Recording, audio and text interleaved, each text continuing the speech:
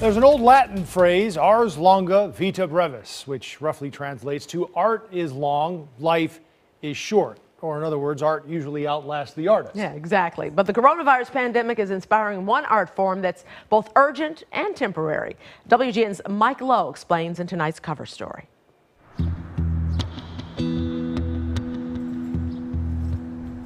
It's been said that nothing lasts forever, and that's as true of a pandemic as it is of a painting.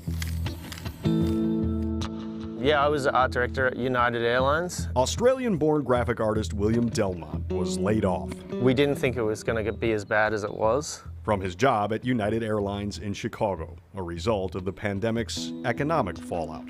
Delmont found himself with time on his hands. I was going to put reds out.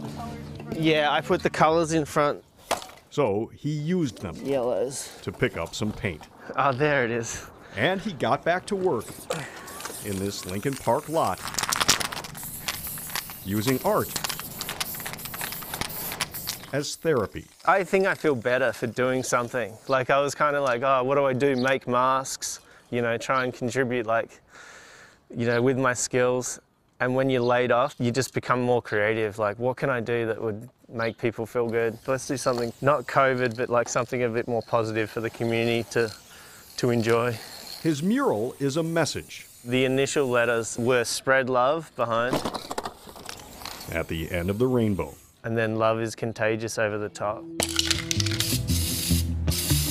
Street art is perhaps the purest form of social commentary, taking on big subjects like race and class.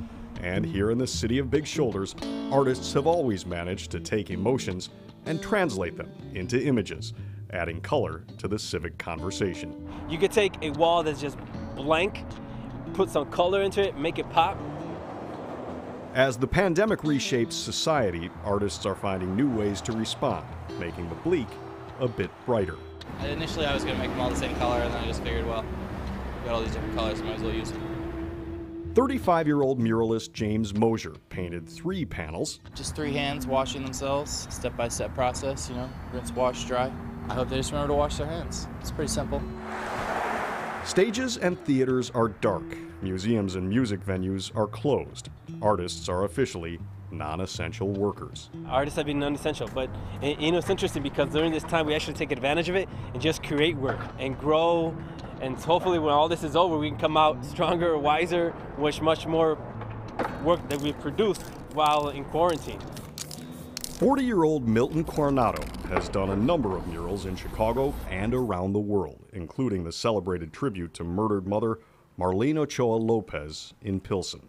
Artists like to represent the community and they like to send out a message. His message is one of gratitude for hospital workers, and it's inspired by his wife. She's a nurse, uh, and she's the one I use as a model for this portrait here. Who do we commemorate? Who do we uh, applaud?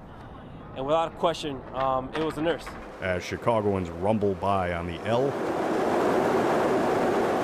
across Fullerton near California, they see a stern, masked figure staring back with two words stay home. We figure, you know, with all this pandemic going on, we want to reach out, especially to this culture, especially to this community of young people and young adults. Let's stay home. Let's respect these rules so all this can be over. Back in Lincoln Park, I'm hoping to finish it today. There is a belief. Keep some art going in the community. You can't even go to the Art Institute right now. In the healing power of art. I think everyone just needs like their spirits lifted at the moment. What can I do to help? I can do this.